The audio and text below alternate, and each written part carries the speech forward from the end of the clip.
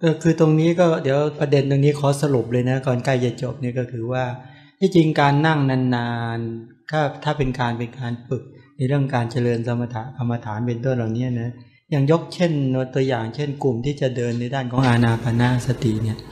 เออเขาขับเน้นเรื่องนาน ซึ่งไม่เป็นไรแต่ข้อมูลก่อนนะให้มีข้อมูลค่อนข้างชัดศึกษาให้ดี ก็จะมีหลักปฏิบัติ ซึ่งมีครูบาอาจารย์ที่มีความเชี่ยวชาญทั้งพระไตรปิฎกอัตถกถาและดีกาด้วย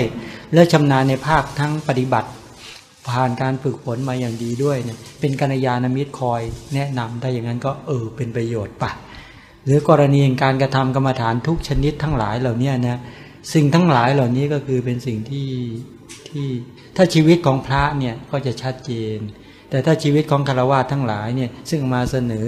ตามพระไตรปิฎกอัตถกถาและคำพีคำสอนของพระพุทธเจ้าเนี่ยโดยมากจะเกี่ยวกันในเรื่องของอนุสติเป็นส่วนใหญ่ คือมีพุทธานุสติธรรมานุสติ สังคาศีลาจาคาใช่ไหมอุปสมาเป็นต้นเหล่านี้ซึ่งเป็นกรรมฐานที่เกื้อกูล ต่อการที่คารวะทั้งหลายที่จะต้องได้ใช้ตลอดเลยเป็นชีวิตจริงของคารวะด้วย ซึ่งเป็นประโยชน์นะ ส่วนในกรรมฐานใด ๆ ที่เป็นภาคแห่งความวิจิตทั้งหลาย เกี่ยวกับการจะเดินก็สู่วิปัสสนากรรมฐานใด ๆ นั้น พระองค์ก็สอนไว้นะแต่ว่าถ้าเดินทานกุศลศีลกุศลไม่ได้ อย่าหวังเลยที่จะไปเดินภาวนากุศลระดับวิปัสสนาภาวนา หรือสมถาวิปัสสนา เพราะสมถะกรรมฐานวิปัสสนากรรมฐานระดับที่สูงสูงไปจากทานกุศลศีลกุศลเป็นต้นนะ ถ้าไม่สามารถเข้าใจมุมของทานกุศลศีลกุศลให้ดีพอ กระโดดข้ามไปตรงนั้นที่ส่วนจริงก็จะกลับตกลงมาตกลงมา แล้วก็อย่างที่เราเห็นกันอยู่นี่แหละ ฉะนั้นเป้าหมายเบื้องต้นก็อย่างที่บอกโดยเฉพาะพุทธานุสติธรรมานุสติทั้งหลายเหล่านี้ สิ่งต่างๆ เหล่านี้ถ้าเอาไปขับเน้นเป็นภาวนาก็จะเป็นสติปัฏฐานทุกข้อเลยนะซึ่งถ้าศึกษาคำสอนให้ดีๆ เราก็จะเข้าใจบริบทของคำสอนได้อย่างดี ฉะนั้นเมื่อสรุปในกรณีอย่างนี้ก็ฝากไว้ว่า อย่างเราท่านทั้งหลายก็ดังที่ได้กล่าวว่าเดินทานกุศลให้เป็น เดินศีลกุศลให้เป็น เมื่อนั่งณอาสนะใดมีเวลาสงบ อย่างยกตัวอย่างอย่างนี้นะ เราไปไหว้พระเจดีย์ใช่ไหมที่จริงเคยกล่าวไปแล้ว ไปไหว้พระเจดีย์ไประลึกไปมองพระรูป ไปมองพระรูปของพระเจ้าก็ดี หรือพุทธเจดีย์ทั้งหลายไปสักการะบูชา มีของหอมมีดอกไม้มีอามิสทั้งหลายไปยืน สามารถหลับตาลืมตาก็เห็นเด่นชัดเลย ไปเวียนประทักษิณสักการะบูชาไปเป็นทั้งทานกุศลศีลกุศลภาวนากุศลใช่ไหมทั้งกายกรรมเป็นทานกุศลยังไง กายกรรมเป็นศีลกุศลยังไง กายกรรมเป็นภาวนากุศลยังไง มีความเข้าใจแม้น กรณีแห่งการเดินได้ตามลำดับชัดเจน พอกลับมาถึงที่อยู่ ก็น้อมระลึกถึงตนเองยืนเพ่งต้นพระศรีมหาโพธิ์หรือพุทธเจดีทั้งหลาย หรือว่าอุเทสิกาเจดีทั้งหลายก็น้อม เสมอเหมือนหนึ่งว่าตนเองปรากฏต่อหน้าตนเองในขณะนั้น เนี่ยกรรมฐานจะเดินได้ด้วยการอย่างนี้ อันนี้คือเดินพุทธคุณธรรมคุณ หรือสังฆคุณ อันนี้ในรายละเอียดทั้งหลายก็ ถ้ามีเวลาก็นะจะเออเขาเขาใคร่ครวญอย่างไร นะว่ายกตัวอย่างเช่น ไปกราบไหว้พุทธเจดีทั้งหลาย กลับมาแล้วมาเดินกรรมฐานต่ออยังไงเขาจะมีหลัก ในชั้นคำสอนว่ากลับมาแล้วเอานิมิตเหล่านั้นมาระลึกเห็นคุณของพระเจ้าไปตามลำดับ จงยังปราโมทปีติปัสสติความสุข สมนัตแล้วก็สมาธิตั้งขึ้น แล้วต่อมาก็วิจัยลงสู่วิปัสสนาอย่างไร ท่านมีหลักคำสอนไว้ชัดเจน ทีนี้คารวาสเหมาะสมแก่การเจริญแบบนี้ไหมเหมาะ ถ้าอย่างนี้เหมาะ เพราะเป็นการเจริญที่ไปจากง่ายแล้วก็ค่อยละเอียดลงไปตาม จากหยาบเข้าไปละเอียดไปตามลำดับ แต่ไม่ใช่ไปเดินละเอียด ซึ่งเราไม่มีฐานเลย ที่สุดจริง ๆ เราอาจจะไปยึดติดอย่างใดอย่างหนึ่ง ก็จะเป็นการหลงประเด็นไปถ้าอย่างนี้มามองว่าเป็นภาวะที่ปลอดภัย แล้วก็เป็นไปกับคำสอนได้ดีที่สุดก็ ถือว่าเป็นวันที่มีคุณค่ามากทีเดียวค่ะ ที่เราได้มารับฟังเนื้อหาธรรมะ ที่จะได้นำไปใช้ในชีวิตได้จริง ๆ ในแง่ของทานในแง่ของศีล ซึ่งรายละเอียดลัดของทานและศีลเนี่ยค่ะน้อมนำไปสู่การเจริญภาวนา คือการน้อมระลึกให้กุศลและเจตนานั้นเกิดขึ้น อยู่ได้หนึ่งเนืองหล่อเลี้ยงใจ แล้วก็น้อมนำไปจนกระทั่งถึง ซึ่งการ ระลึกโดยความเป็นวิปัสสนานะคะ ในโอกาสนี้นะคะก็ขอเป็นตัวแทนของนักศึกษาทุกท่าน ผู้ใฝ่ธรรมทุกท่านนะคะ ที่จะได้กราบขอบพระคุณในกรุณาของพระคุณเจ้าที่ได้กรุณาเสียสละเวลา อันมีค่าเพื่อที่จะประกาศธรรม เพื่อที่จะชี้แจงแสดงธรรม เพื่อให้รถแห่งธรรมนั้นปรากฏ นะคะ เป็นเพื่อประโยชน์ในการศึกษาคือศึกษาแนะนำอบรมสั่งสอนแล้วก็น้อมไปปฏิบัติ พวกเราทั้งหลายนั่งลงที่พื้นแล้วก็จะได้กราบพระอาจารย์พร้อมๆกัน และหลังจากนี้เราก็จะสวดมนต์ค่ะเราจะกล่าวคำขอขมาต่อพระรัตนตรัยด้วยบทกายเยนะนะคะ น้อมลงแล้วก็กราบกล่าวค่ะ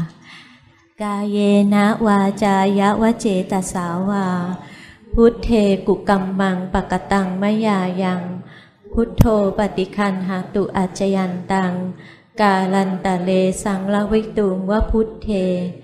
กาเยนะวาจายะวะเจตสาวา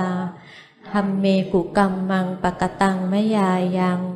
ธรรมโมปฏิคันหาตุอัจยันตัง การันตะเลสังละวิตุงวธรรมเม กายเยนะวาจายะวะเจตสาวา สังเคกุกัมมังปะกตังมยายัง สังโฆปฏิคันหาตุอัจยันตัง การันตะเลสังละวิตุงวะสังเคอะระหังสัมมาสัมพุทโธ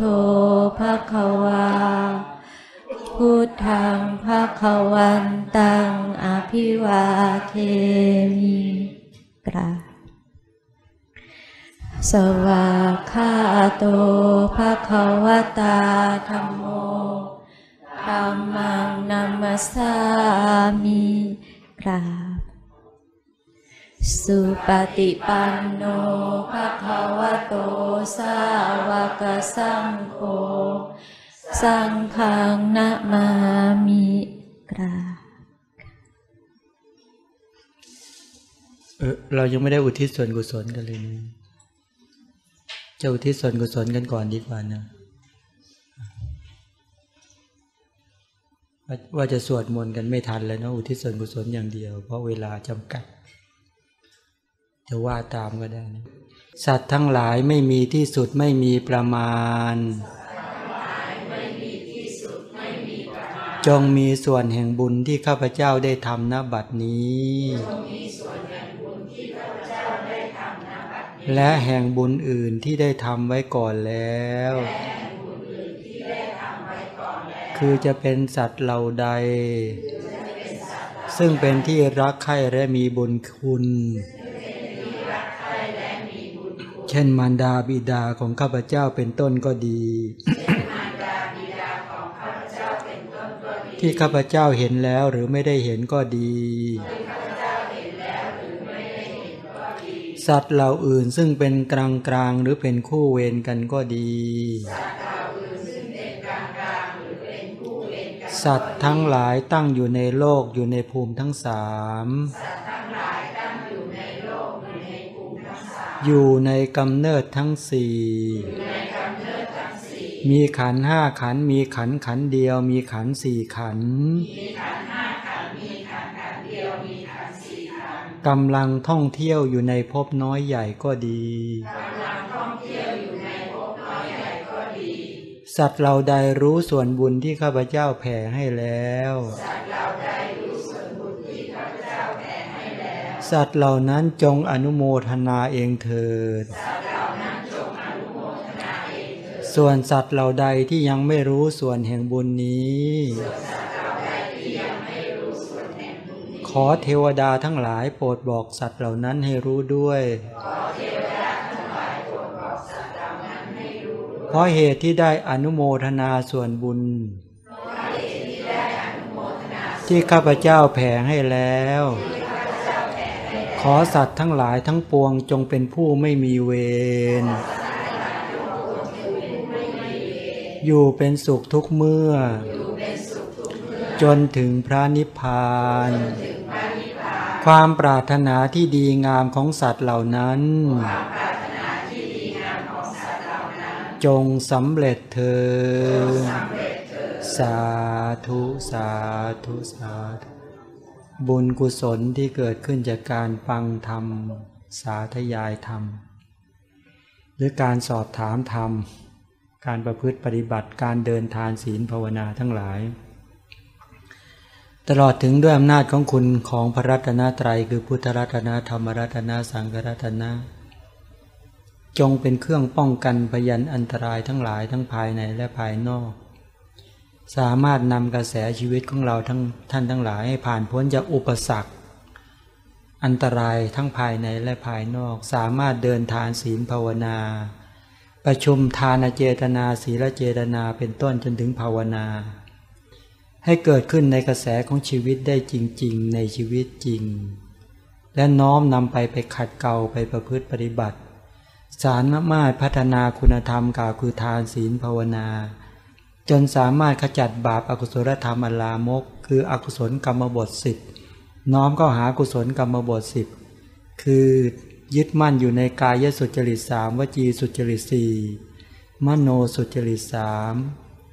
สามารถพัฒนาศีลสมาธิปัญญาประชุมในอุปจารสมาธิ ออกจากบาปอากุศลธรรมที่เป็นปฏิปักษ์ต่อสมาธิ 8 ประการ ประชุมศีลสมาธิปัญญาในปฐมฌานทุติยฌานตติยฌานจตุตฌานและในรูปฌานสามารถประชุมศีลสมาธิปัญญาในอนิจจานุปัสสนาทุกขานุปัสสนา อนัตตานุปัสสนานิพิทานุปัสสนา วิราคานุปัสสนา นิโรธานุปัสสนา และปฏินิสขานุปัสสนา สามารถประชุมศีลสมาธิปัญญาในมรรคผลได้ทุกระดับ จนสามารถเข้าถึงอนุปาทาปรินิพาน คือการดับกิเลสพร้อมทั้งขันห้าโดยไม่มีส่วนเหลือ